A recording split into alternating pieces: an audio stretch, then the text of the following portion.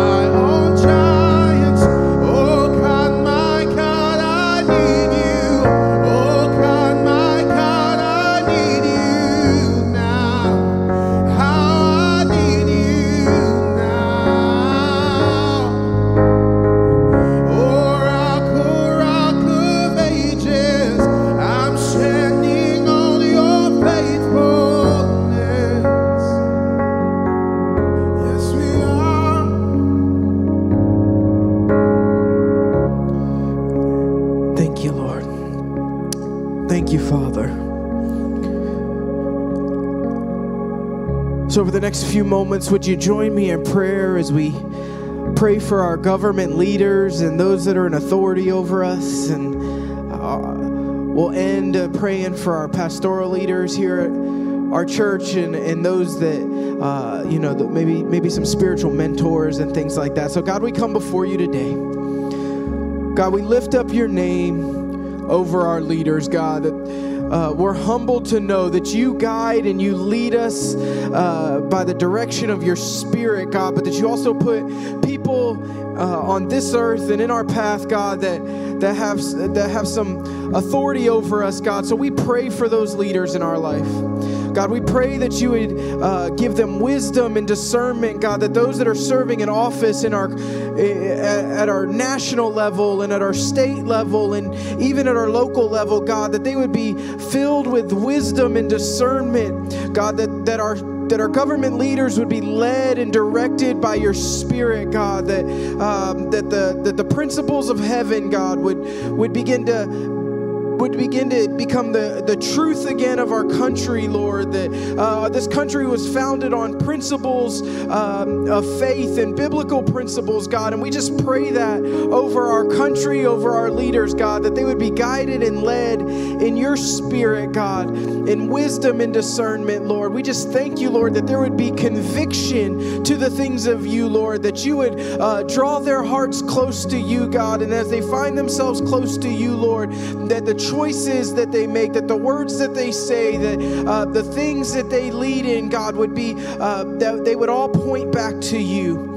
God, we thank you that, um, that as office is open, God, that you would fill them with leaders uh, that are inclined to, to have biblical conviction, God. We just thank you so much, Lord, that we live in a country of freedom, that we live in a country where we have uh, the, the things, the blessings, and the, the open doors that we have, God. But when I thank you, Lord, I thank you, Lord, that that freedom comes by, by sacrifice. And in sacrifice, God, I pray that you would convict the leaders that are over us in, into things of you, Lord. And I thank you for that.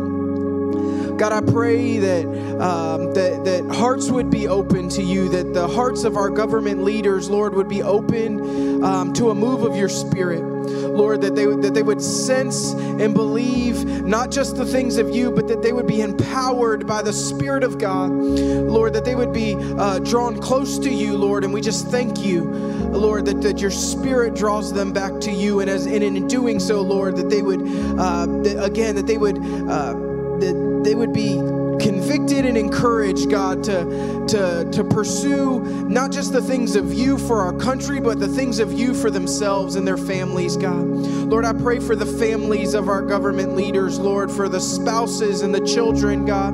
Lord, as, as they live lives in, in what is sometimes the spotlight, Lord, I just pray that, that you would uh, guide, lead, and protect them, Lord. Give them wisdom and discernment as well, Lord. We just thank you so much uh, for the support systems for our government leaders that you've provided them and their families, God. And I just pray over their families as well. Lord, as we shift into praying for our pastoral leaders, God, I thank you for Generations Church. God, I thank you for uh, the impact that we're making in our community, for the impact that we're making all around the world. But Lord, that doesn't come uh, without hard work. So, Lord, I thank you, Lord, for the leaders that are guiding us, that are leading us into seasons of, of hard work, God, as we pursue the things of you. Lord, I pray. I pray for an empowerment of your Holy Spirit. Lord, I pray for a fresh renewal of your spirit in the lives of our church leaders, God. God, I thank you that you would give fresh vision, fresh anointing, God, that you would continue to pour your spirit out and that in obedience, God, the leaders of Generations Church would passionately pursue the things of you, Lord. And we wouldn't take a step, we wouldn't take an action, God, without knowing that it is a move of God that is calling us to pursue the things of you. So, God, we thank you, Lord. We thank you for the great call that you've put on every leader in Generations Church. God, we thank you for the great call of God that you've put on our lives, Lord. And we are humbled to serve you, Lord. And we just pray that as we offer our hands and our lives to you, God, Lord, that you would continue to, that you would continue to, to just your name would go forth. And we thank you that a great move of your spirit would happen, not just in our church, but in our community, in our city, in our state, and all over this globe because of the convictions that you put in the hearts of the, the leaders at Generations Church. So, God, I pray that you would, uh, again, as, as you lead and guide, Lord, I pray that you would protect. Lord, seasons come and go of, of both uh, ups and downs, God. And I just pray for, uh, for encouragement, God, for strength in those seasons when things may seem down. God, I thank you, Lord, that you encourage and, and you send out those that, that serve you, God. So I pray. I pray for the spouses and the children of our leaders.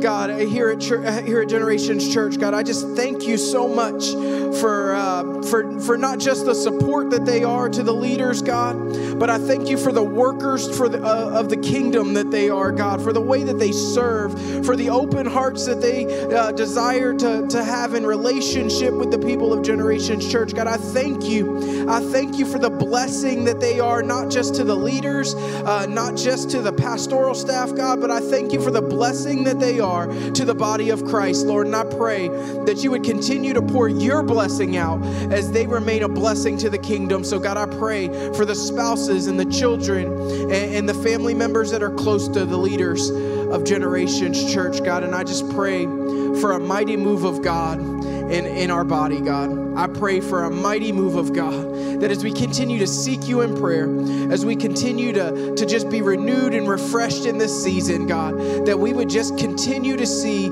uh, the, the Spirit of God move in signs and wonders and miracles, uh, Lord, just not in our body, but God, in our leadership, God, in our church, Lord, in our community. I pray for signs and wonders and miracles to continue to go forth, Lord. And I just thank you so much for what you want to continue to do here.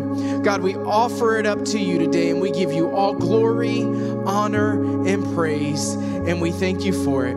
In Jesus' name we pray. Amen. Hey, uh, thanks for taking just a few moments with us this afternoon. And, uh, you know, it's just we're we're almost at the end of our 21 day emphasis, and so uh, I'm just so thankful. We're so thankful for you taking some time over the last few weeks and just diving into the things of God. And uh, man, if you've got any prayer needs, we would love to be praying with you. You can send those to the church at uh, info at gctlh.org, and our staff will be praying with and for you. And uh, maybe uh, you missed a, a day or two of our prayer emphasis this week. You can catch all of those on Facebook and YouTube. You can go back and, and join us and just praying over the different topics this week. And hopefully that you'll be able to join us uh, for, for tomorrow's time. It, will go live at the exact same time. And we're just, again, so appreciative that you would take just a few moments with us today and uh, that you would pray. And I encourage you and that God is going to continue to move in your life as you seek Him. So thanks for joining us. Have a great day. God bless you.